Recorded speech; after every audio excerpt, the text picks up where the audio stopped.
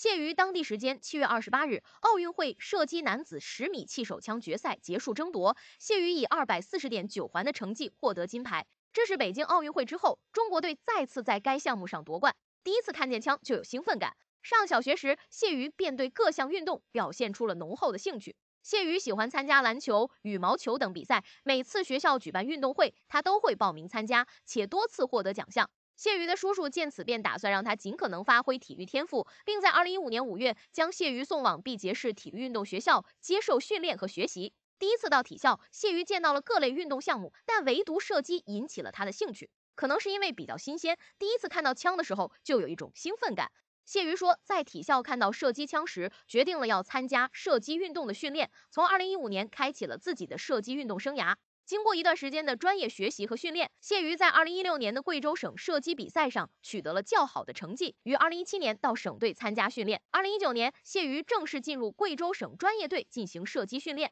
此后，在不断的练习下，谢瑜的射击成绩逐渐进步，在二零二一年全国冠军赛中获得男子十米气手枪银牌，二零二二年第十四届全运会中获得十米气手枪混团铜牌。两次印象深刻的比赛。二零一五年接触射击，至今九年的时间，谢瑜从一个懵懂的小孩，逐渐成长为一名目标清晰的专业运动员。他在接受采访时提到了两场印象深刻的比赛，其中一场是二零二一年全运会混团资格赛中，谢瑜发挥并不是太好，于是，在铜牌角逐赛中略显紧张，导致射击成绩一直不理想。张海教练紧急叫停，及时提醒谢瑜忘掉之前的成绩，专注当下的比赛。搭档钱薇师姐也鼓励谢瑜放轻松，迅速调整状态后，谢瑜和钱薇齐心协力，经历了从落后扳平到反超，最终获得了铜牌。那次比赛结束后，我在休息室里几乎哭了出来。但通过那次比赛，也让我明白了，射击这项运动不是一个人的战斗，在身后还有队友、教练，他们都在背后支持着我，可以给我提供帮助。